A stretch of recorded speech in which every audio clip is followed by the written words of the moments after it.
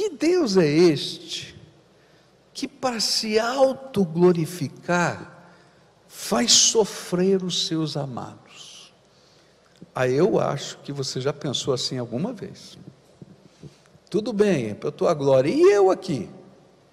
Olha a minha situação, olha a minha vida, Senhor. Se você não teve a coragem de falar, passou pela sua cabeça. Esse negócio de glória de Deus, como é que funciona, Senhor? Ah, está acontecendo isso para a tua glória. Mas olha só como é que está a minha vida. Mas quando nós entendemos o sentido da glória de Deus, a gente pode ter paz no coração com relação a viver e ser para a glória de Deus. Porque quando a glória de Deus se revela na nossa vida, Deus vai revelar o poder dele em nós.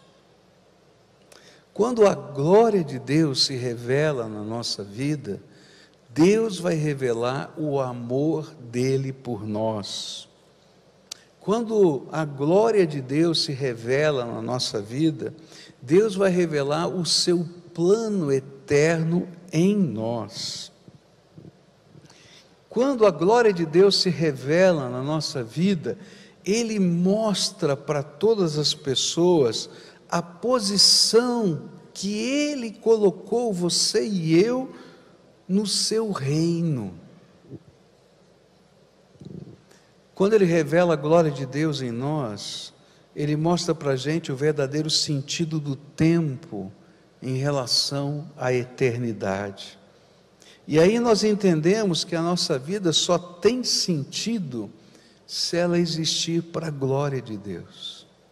O que iria acontecer, ainda que fosse estranho e doloroso, era a revelação de um Deus glorioso que trabalha a favor dos que o amam. Olha só que Isaías 64, 4 vai falar. Desde os tempos antigos, ninguém ouviu, nenhum ouvido percebeu, e olho nenhum viu outro Deus além de ti, que trabalha para aqueles que nele esperam. Jesus viu que aquela doença revelaria a glória de Deus, o Deus Todo-Poderoso, na vida de Marta, Maria e Lázaro. Jesus viu que essa glória ia revelar que Deus trabalha a favor daqueles que nele esperam. Queridos, às vezes a gente passa por lutas, por sofrimentos, por angústias que deixam marcas na nossa vida. E algumas marcas são até doenças da nossa alma. Mas às vezes, essas marcas dessas lutas, sofrimentos e angústias se tornam cura da nossa alma e cura da alma de muitas pessoas que estão ao nosso redor, porque manifestam o amor cuidadoso de Deus na nossa vida. Quantas vezes você já passou por uma situação difícil e Deus se revelou na sua vida? E aí a glória dele vai lá dizer: Olha, você é amado. Eu me lembro alguns anos atrás, quando um rapaz estava afastado do Evangelho, ele marcou um horário comigo e disse assim: Pastor, eu vivi um acidente recentemente. Meu carro entrou debaixo de um caminhão e o carro acabou, deu perda total. O único lugar que não foi amassado do carro, que você olhava assim e tinha quase a minha silhueta, é onde eu estava sentado. Todo mundo olhava aquilo e dizia assim: não é possível, como é que ficou esse lugar intacto, da maneira como esse carro bateu?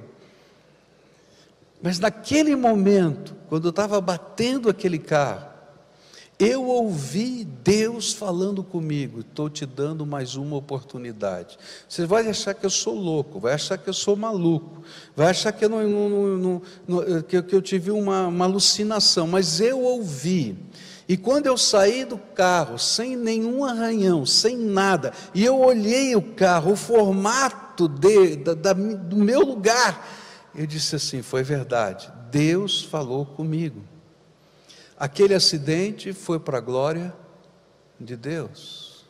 Você está entendendo o que eu quero dizer? Havia uma mensagem de Deus, onde Deus revelava o seu poder, revelava o seu amor, revelava o seu plano eterno, revelava uma bênção presente e futura. E o que Jesus estava dizendo é: olha, eu não estou com pressa de chegar lá, porque eu sei os planos que Deus tem para os meus amigos, que são planos de bênção e de paz. Toda vez que a gente pode confiar nos planos eternos de Deus, eu posso seguir seguro em qualquer circunstância da minha vida. Mesmo que eu não entenda, mesmo que eu ache que já passou o tempo, mesmo que eu ache que não tem mais jeito, mas eu sei que o Senhor vai revelar a sua glória. E cada vez que ele revela a sua glória, queridos, Algo extraordinário de Deus está acontecendo na nossa vida.